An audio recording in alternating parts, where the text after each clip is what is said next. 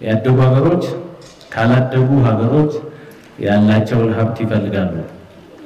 ያላደጉ ሀገሮች ደግሞ ያላቸውን ሀብት እሴት ጨምረው ተወዳዳሪ ሆነው ሀገራቸውን ከማሳደግ ይልቅ በርስ በርስ ሽኩቻ እንዲሁም ደግሞ በጥሬ ዕቃው በመሪዎች የተበላሸ አሰራር እንዲሁም በርስ በርስ መገፋፋት እና በሌሎች ተጽዕኖ ጥሬ ዕቃችንን ዝም ብለን እየላክን እስካሁን በድህነት ላይ እንገኛለን።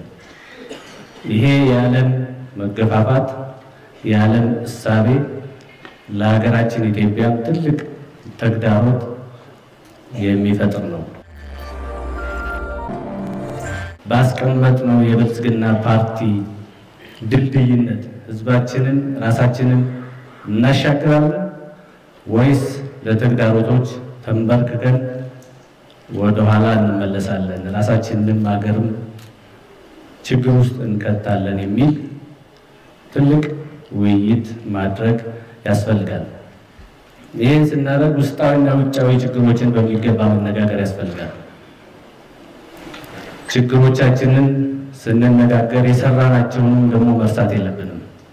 ያስቀመጥናቸውን ግቦች፣ ያስቀመጥናቸውን ተልእኮች፣ ያለንን ራዕይ መዘንጋት የለብንም።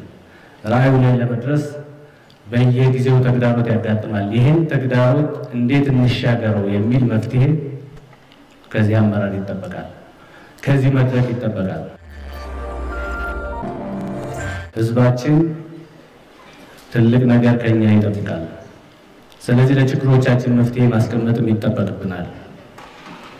ይህንን በማድረግ ይህን መድረክ ከፍ ባለ ደረጃ ተወያይተን እያንዳንዱ አመራር ወደ ስራው ሲመለስ በአንድ በኩል ባለው resource ባለው ሀብት ባለው ጸጋ